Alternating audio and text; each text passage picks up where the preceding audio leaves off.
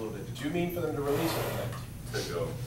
You did? Yeah. Okay, watch that tape. Your tip broke the plane by a lot. I thought you would have said no. I thought you would have said, I want them to release. And I thought maybe we were just getting a little bit on autopilot with everybody else. Now, that's just me, okay? They saw something that made them think that, even though, to a degree, we've been talking about that, that a lot this morning, okay? But watch that tape. I think one of the real gimmies is if we break the plane, one of the contractual understandings we have, if I break the plane, I'm starting sound or I'm stopping sound. That's a, a bit of an on-off switch. Okay, let's try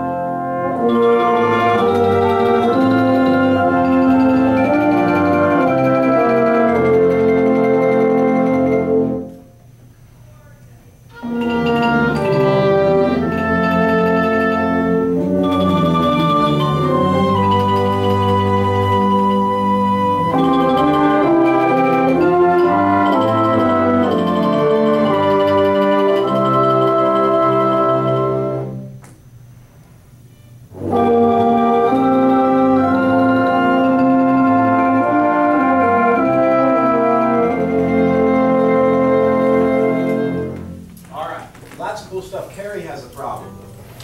What's the problem, Carrie?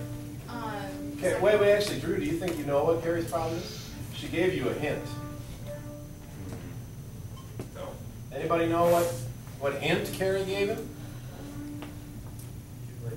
She made a little meep, meep over here at the beginning. Why did you make a little meep? um, with the, the second to last fermata, um, from what I could see, kind of looked like you almost were like prepping the breath. Every one of them you did, actually, and you got away with all of them until Carrie meeped you. You actually got away with all because your breath was really convincing, and you had a declaration of intent. Your your prep of the prep was pretty passive, and then your prep was not passive was was clear. So you got away with it for a while.